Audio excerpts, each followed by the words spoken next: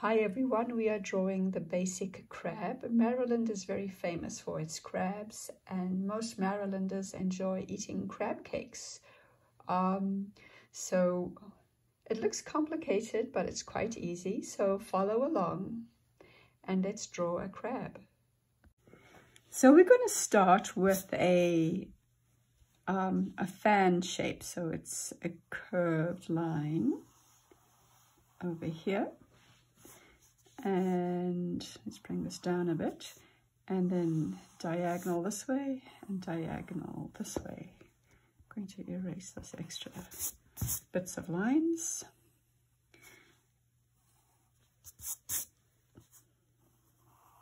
So Maryland is famous for its crabs. Okay, so the the top, we're going to change it. Instead of having a very smooth line, we're going to add just a few bumps to make it a little more realistic because crabs are never completely smooth.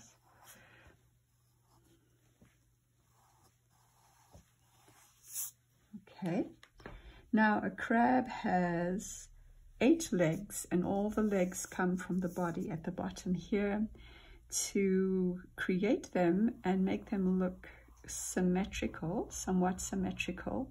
I am going to just draw simple lines on the side and that side and then straight, those curve up. And the next set is straight.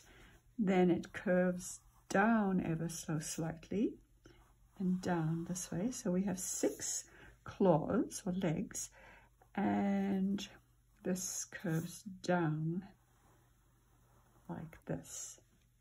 Make these uh, legs a little bit thicker before we start drawing in the segments. Another pointy at the end.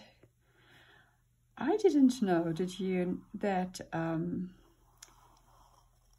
some of the legs are for walking and the others are swimming legs.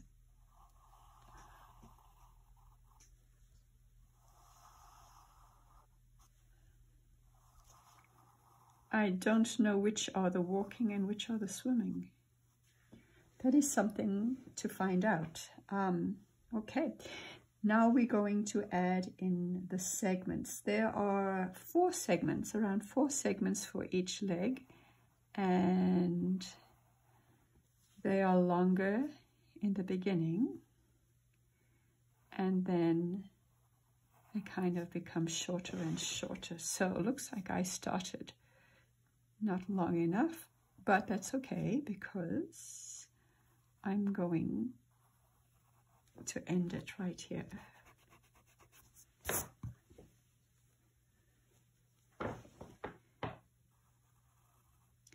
Do you see I'm trying to make it looks kind of rectangular, but not perfect.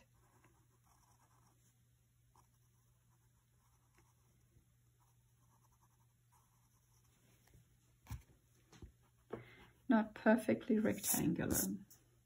Now you know that we are drawing the exoskeleton of the crab. That means that the skeleton is on the outside of the crab's body.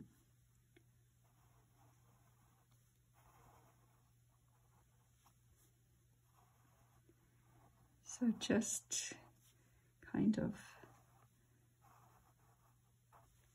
kind of rectangles, but not perfect.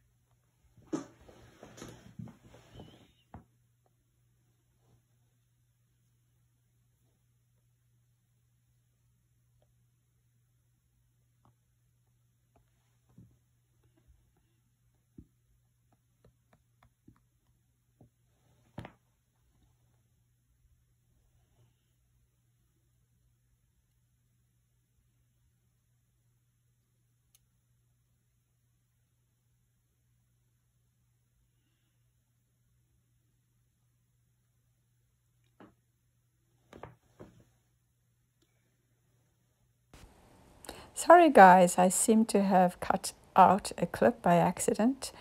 Um, let's spend some time looking at the, the claws and the pincers. Take your time.